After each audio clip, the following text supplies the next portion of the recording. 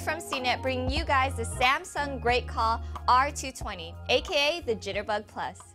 With its huge keypads that light up, user-friendly interface, and simple clamshell design, the Jitterbug Plus was built for seniors.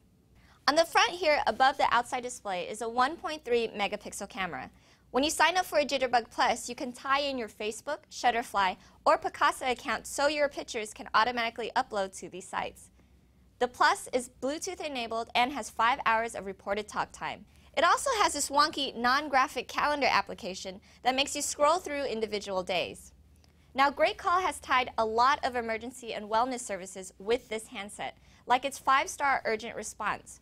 When you're in an emergency situation or feel a little bit unsafe, like, say, while walking to your car at night, you can call a 5-star agent who is available 24-7. If you're thinking about getting this phone for your parents, you could sign them up to access GreatCall's live registered nurse hotline. Or they could get automated calls asking how they're sleeping and if they're eating well. But you should call your parents and do it yourself. I'm sure they'd appreciate it more.